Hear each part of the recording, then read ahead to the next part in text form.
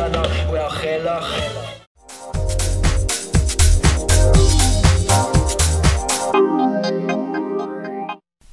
Ja, dat kan ik inderdaad. Ja. Het is het twaalfde jaar dat we daar naartoe gaan. Voor de stichting Veteranen Actief.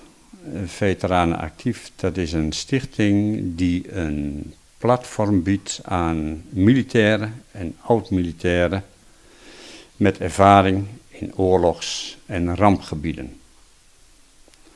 De kennis en de kracht van die veteranen wil men bundelen en daarna teruggaan naar die gebieden om samen met de lokale bevolking daar te werken aan wederopbouwprojecten.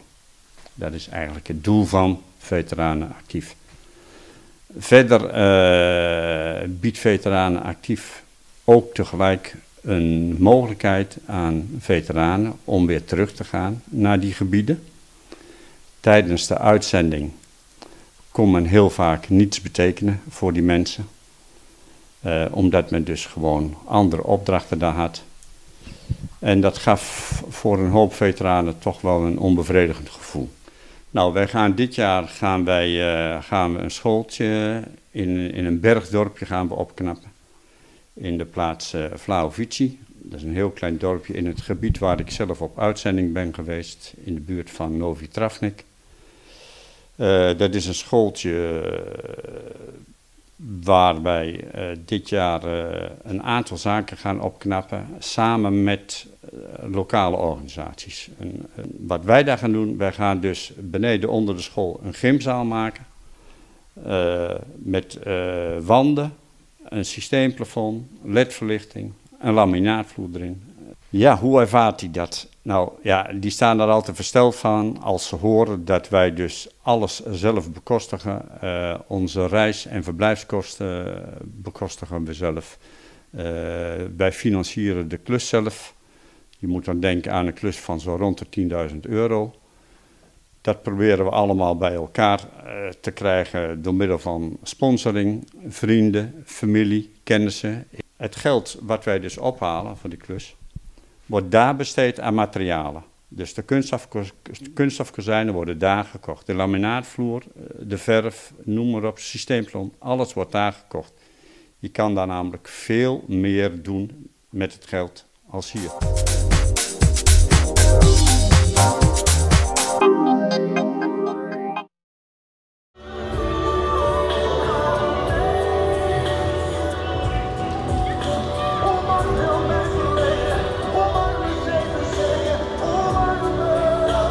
Stichting Twentse Wensambulance vervoert mensen ja, die eigenlijk alleen maar liggend vervoerd kunnen worden. En het maakt niet uit, jong, oud. Als ze vervoerd moeten worden en het moet liggend, dan kunnen wij dat.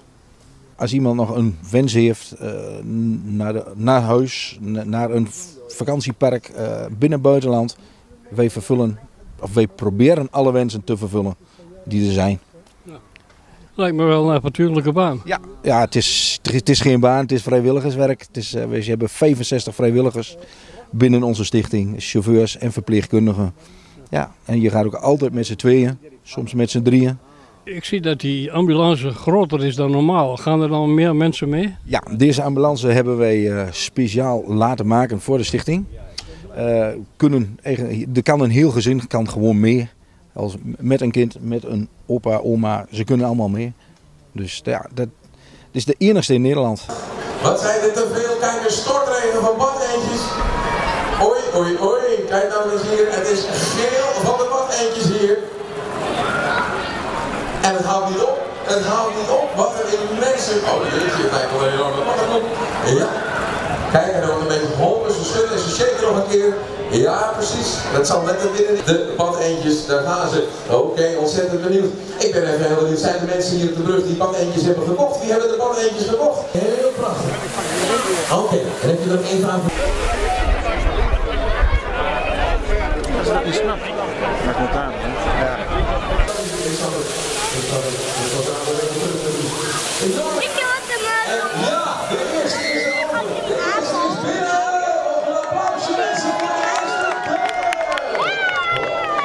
Het gaat om uh, chronisch zieke patiënten die bedlegerig zijn, die uh, moeilijk vervoerd kunnen worden in een personenauto. En die kunnen wij liggend vervoer bieden. Uh, Prodeo, dus gratis, caritatief. En we gaan altijd professionele mensen mee, zowel een chauffeur, ambulancechauffeur en een verpleegkundige, een verzorger.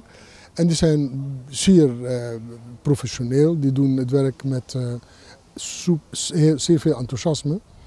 En ehm, wij, wij hebben rond 60 vrijwilligers en wij vervoeren ongeveer 130, 150 wensen per, per jaar. En wij streven om meer te kunnen uitvoeren in, in Twente. En hoe wordt dat gefinancierd? Wij zijn afhankelijk van uh, donaties van uh, gifters en van uh, sponsoren. En wij hopen op heel veel steun, financiële steun van de Twentse ondernemers.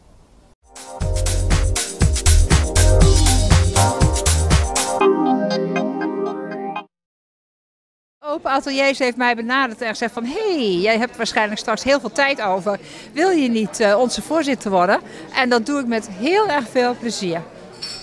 Ik was uh, met heel veel plezier wethouder. En wat ik geleerd heb in die twee jaar is dat er hier in Almelo ongelooflijk veel mensen kunst maken. En dan, dan echt ook heel druk mee zijn. En eigenlijk uh, moeten we daar veel meer aandacht aan besteden dan we tot nu toe doen. Dus die atelierroute is echt een fantastisch uh, initiatief. Eén keer per jaar kun je 37 kunstenaars in hun ateliers bezoeken. En ik hoop dat er ontzettend veel mensen op de fiets stappen dit jaar. Dit jaar op 22 en 23 september, zaterdag en zondag. En we hebben een website, daar kunnen mensen precies kijken welke ateliers open zijn. Maar we leveren ook een fietsroute aan. En werkelijk, je moet even een drempeltje over, letterlijk. Hè? Want je denkt van jeetje, ja, bij die mensen in huis. Maar het is echt ontzettend leuk. Je bent heel erg welkom. Hoeft niks te kopen. Maar in ieder geval, een bezoek is het zeker, zeker waard.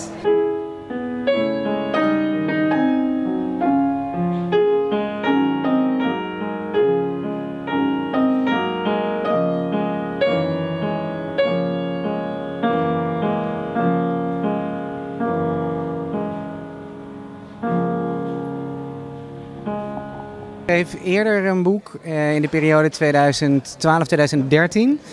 over het leven van Vincent in Londen, hoe ik van Londen houd. Daar komen de zussen al een beetje in voor. En ik dacht toen dat als de zussen net zo goed gedocumenteerd zouden zijn als Vincent, dat er ook wel een boek zou kunnen worden geschreven over die zussen. En toen ben ik onderzoek gaan doen en rolde ik van het een in het andere. En drie jaar later was er dit boek. Nou, die documentatie uh, die vind je op verschillende uh, plekken. Het begint met het goed lezen van de brieven, van de brieven van Vincent. en dan zijn er een aantal plekken in het land waar die brieven zich bevinden. en soms bevinden ze zich ook wel bij particulieren of bij familieleden. Um, en nou, al die verschillende bronnen uh, bij elkaar. En dan heb je het over musea, bibliotheken, archieven. En dus ook soms particulieren. Dat is de basis geworden uh, voor het boek. Het is dus meer eigenlijk gebaseerd op brieven dan dat mensen zouden verwachten op schilderijen.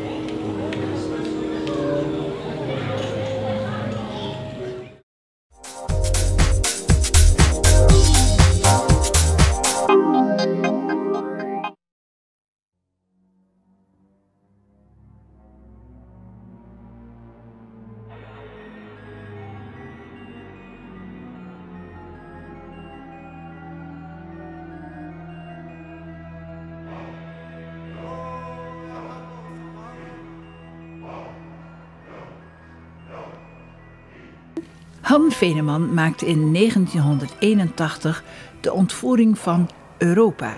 Het staat op de hoek van de Oranjestraat en de Molenstraat.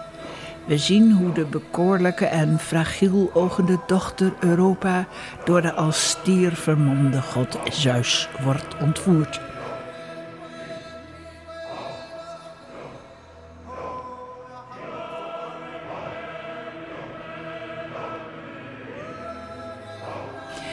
Kunstwerk is gemaakt in opdracht van de winkeliers in de Oranjestraat.